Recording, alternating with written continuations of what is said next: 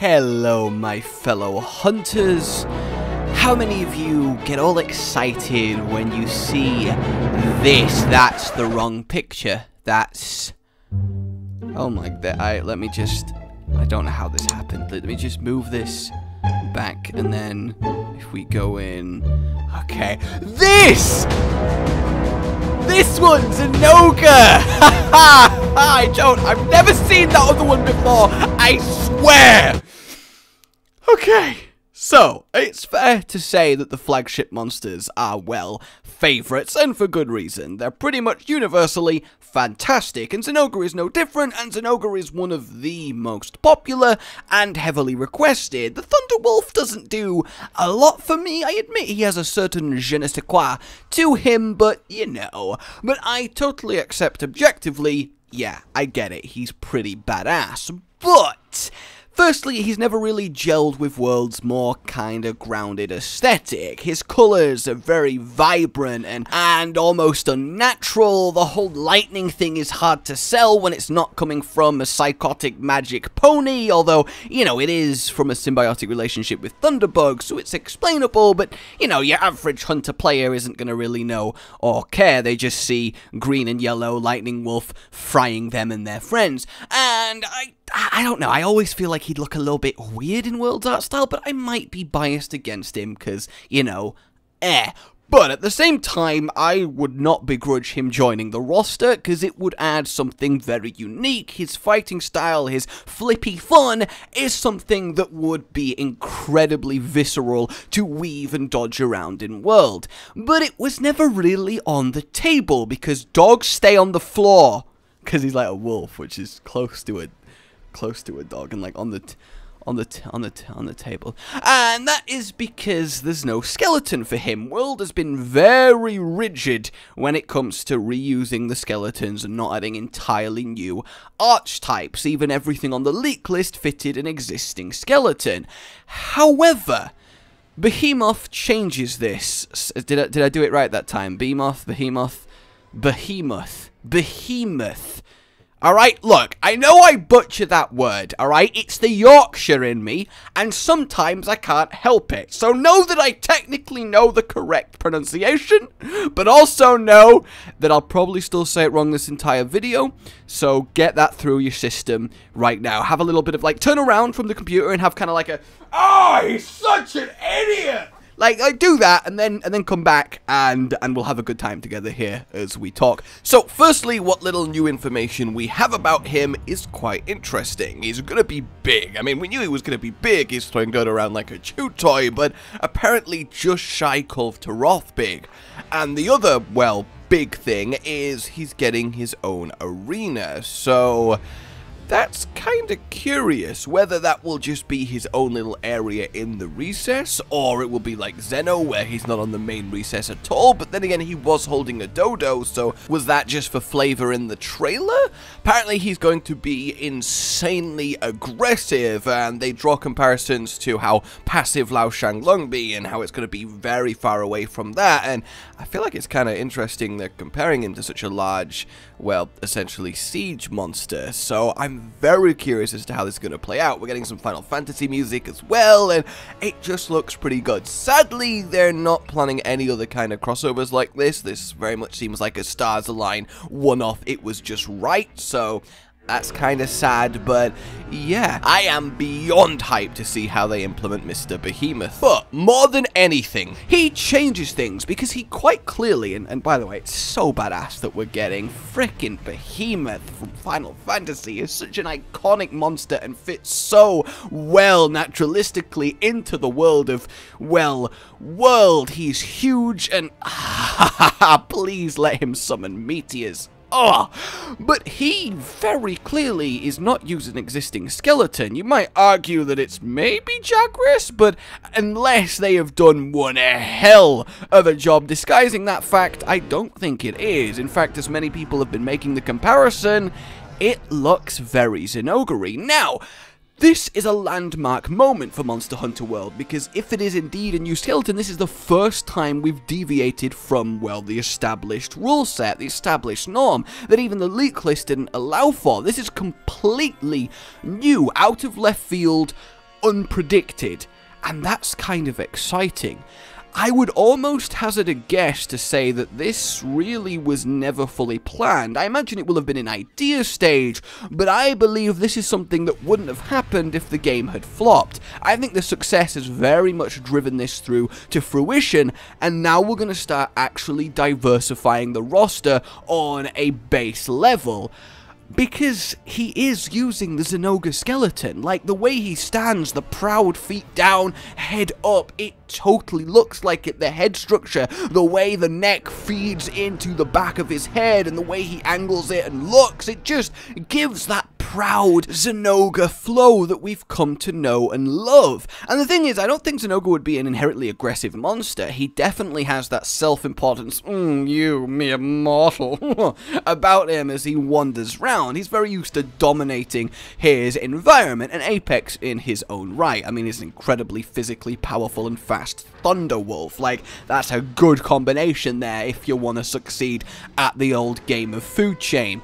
And uh, I just get the feeling that it's kind of gonna happen. Zinogre really hasn't had a front and center role in a while now, and I think in a poll of the most loved and sought after flagships, he'd easily be top three. I think he'd be in contention for winning it. I know I'm in the minority, not really loving him that much, but then again, I do deeply think that any monster brought to life in World's Fidelity, I would fall in love with, because I will admit, I hated Uragaan with a fiery, burning passion.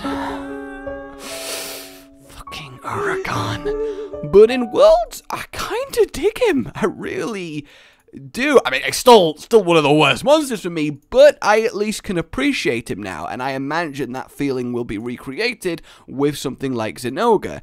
And honestly, it is kind of weird initially, right, when you think that they didn't put in really any major flagships, the popular monsters outside of the required Rathalos. You can't have a monster game without Rathalos after all, but none of the others really got a look in. I mean, Rusted Kushala Daora was a flagship, but we've only got normal Kushala, so ah, it's not a really well known one anyway. So why not? Well, actually, I think when you think a little bit more, it does make sense. Because you want World to stand up on its own merits, right? You want the new systems, the new flow of the gameplay, the new breathtaking environments and visuals. You want all that to be the reason.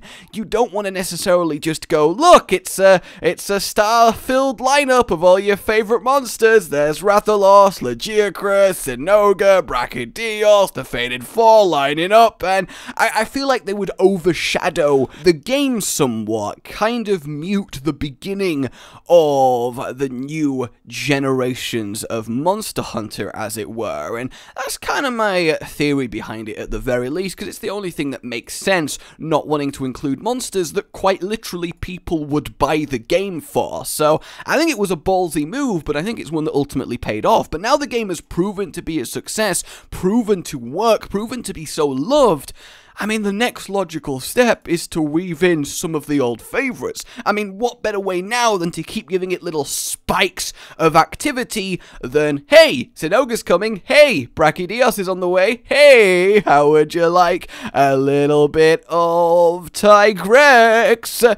Uh, although I'd prefer Nargacuga, but I think people generally prefer Tigrex. Actually, you know what? You know what? I'm going to do a poll in the in the description. I, if I remember. If not, it will be a comment. It might be both. I don't know. I could do anything. Oh, I might have emailed you. I haven't. I don't know your email. Or do I? Either way, there's going to be a poll, and I'm going to have every flagship on there, and I kind of want to get a feel for you guys, my lovely viewers, what your favourite is, and maybe I'll do a little follow-up video on how that compares to mine. I think that could be quite interesting, actually. But, needless to say, I think there's another little bit of supporting evidence in the Monster Hunter store. There is plushies for lots of monsters, and all of them but one exist in the game. The only one there that is not in the game is a Zinogre plush, right? That's gotta be a low-key hint. It might be a reach. We might be, we might be really trying to grasp at straws here, but come on, that's that's gotta be right. Like that's that's yeah, Yeah, come on, totally. You gotta get on board with this. But either way, I just want to start a dialogue, a discussion on how actually significant Behemoth is. It's not just a first time other monster from other universe, but it's what it represents. A new skeleton coming to a game and a future of possibilities. Suddenly, very suddenly, with him arriving, kind of nothing is off the table. And the thing is, if it is the Zinogre skeleton, only really Zinogre and I guess, well, Behemoth uses the Zinogre skeleton. Yes, Zinogre is a fanged wyvern like Jagras and Dodo and Girros, but they are very different in their structure and gait. They are very much their own setup. So it means they're adding the skeleton for potentially just two monsters. So really at that point, nothing is certain. And I am very excited for the future for Monster Hunter. I think the success of it, the popularity, has opened the doors for some real ambitious additions that they were kinda on the fence about even being able to do. I think they knew and said that they would support it at minimum for a couple years. I think they have ideas in place, but which ones actually get implemented, I think that's very much shifted. I mean, it might just be me. I might just be being optimistic, but, you know, I love this game, so of course I'm gonna be. Zinogre himself, then, just to do a quick little uh, lore down, is quite interesting. So he has a symbiotic relationship with Thunderbugs. They look like little yellow floating orbs, and they take in natural electric charge that they generate very similar to an electric eel. It's an internal body process. Zinogre, then, can attract them. They land on him, intermingle with his fur, and he essentially drains them. Like Zinogre himself is a rechargeable battery of a body that can very easily expend his electric store, and then replenishes it by getting a load of giant flying thunder insects to come and rub up against him. It's said to be one of the most beautiful sights in all of Mon. No, it's not. It's fucking. It's, it's kind of freaky. It's like giant, gnarly looking bugs, really. I mean, grinding up against a wolf monster. It, it's look, you don't want to be a like if you're into that. I'm not gonna I'm not gonna judge you publicly, but I'm just saying, leave the Zinogre. Like if you're walking on a Zinogre and he's mid Thunderbug rub. Moving on, he drains the electricity, he charges up, uses it in combat, enrages, fully charges, and it bursts and spirals out of him. He leaps in the air, he's very acrobatic, spins, tail slams, thunder bursting of it. What the fuck? Uses strength and speed to great advantage. Kinda like Odo, a little bit less quick, but a lot more leaning towards brute strength. But for his strength and size, he is very, very fast. And of course, you know, being able to fire literal lightning helps. So, to make him work then, you'd have to give him a home, right? And the thing is, he likes higher mountainous areas, but that still have a bit of forestiness to them. So you can kind of make a case for both the ancient forest and the coral highlands, and indeed he could occupy both. In fact, I think a really cool idea for this little thunder puppy would be Coral Highlands, a special event quest where you're there with a Kirin and a Zinogre, and then Kirin gets its first turf war. Imagine these two two lightning monstrosities clashing head to head as the sky sparks and lights up with their collective fury. I mean, I think Zinogre would lose. Kirin's still an Elder Dragon, despite being on the weaker end of the scale, but oh, what a spectacle it would end up being. In terms of, you know, general power, he's technically on the level of a Rathalos, an apex predator, but, you know, in gameplay, mechanically, he's definitely on the harder end than a simple Rathalos, but that's kind of where he sits in the food chain. But hey, I think he would decimate a Rathalos simply because of the thunder advantage, even if he can't quite get into the air high enough to actually damage him.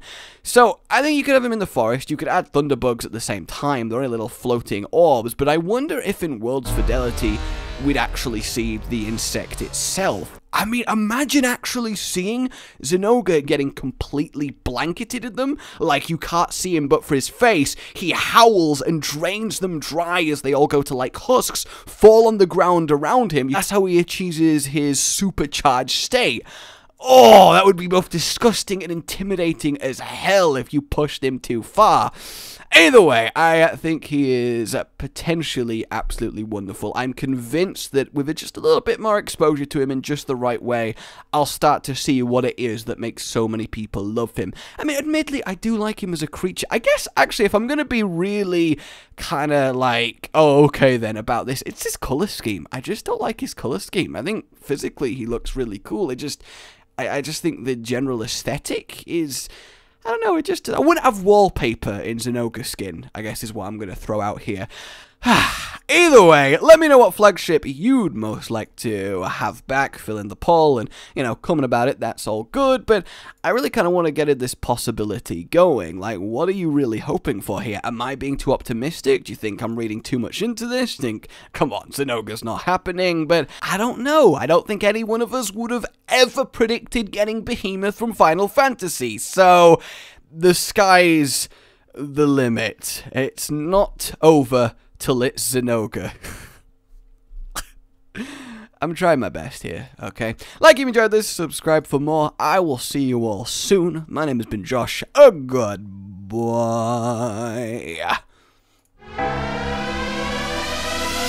Rage gaming with the video float. But that's all that's really relevant at the mo. But I'm still gonna leave this up so you patrons know that I love you even though the outro's no longer that kind of relevant. But the new one's being worked on and it's gonna be a truly badass song. And don't worry, I won't be doing any rapping on it.